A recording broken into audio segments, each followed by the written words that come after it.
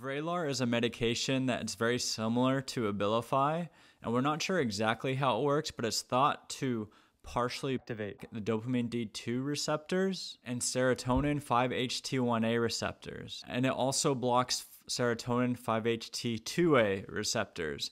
And so this is very similar to a medication like Abilify, although Vraylar is newer and it's really being marketed to help treat diseases such as schizophrenia, bipolar, either the manic type or bipolar depression, and also helpful for adjunctive treatment of depression, along with someone who's already on other antidepressants. So it's not entirely sure how this medication works, but primarily it affects dopamine regulation, and dopamine is thought to play a role in a variety of mental health symptoms. For example, too much dopamine in the mesolimbic pathway in the brain is thought to lead to hallucinations, and so blocking those receptors helps to regulate that. Too much dopamine is also thought to play a role in manic or hypomanic behaviors, and so this medication helps to regulate that.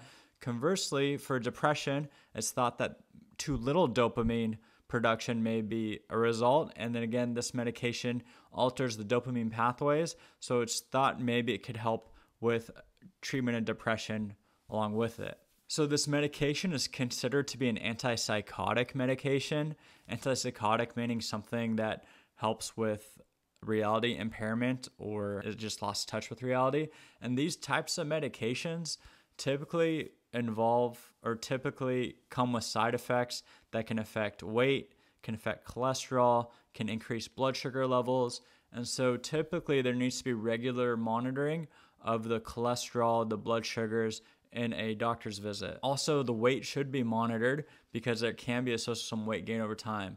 Now, this medication is advertised as it doesn't really cause as much weight gain as some of the other antipsychotic medications, such as Seroquel or olanzapine, but it could very well play a role in weight gain and so may be something to look out for. The, again, this medication is similar to Abilify, but many people may stop Abilify because it causes them to be too restless or feel like they're jumping out of their skin or just not at ease. And so this may be a better option for people with those sort of side effects to Abilify. Um, along with all antipsychotic medications, there can be a risk of Parkinson's like symptoms and people who take this types of medication for several years. Usually it's a dose dependent relationship. So if you're on higher doses, you have more chances to have these side effects.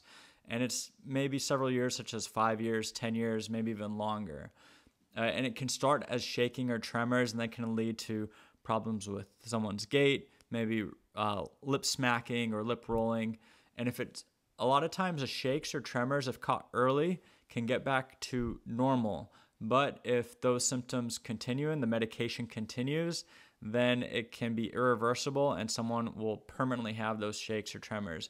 That's why that's one of the major concerns with this types of medication or these medications in class, which is why you want to really be sure it's indicated uh, for your condition if you, you or someone you know is taking it. Also, with antipsychotic medications, there's a rare condition called neuroleptic malignant syndrome where someone can get really high fevers, unstable like blood pressure or heart rate.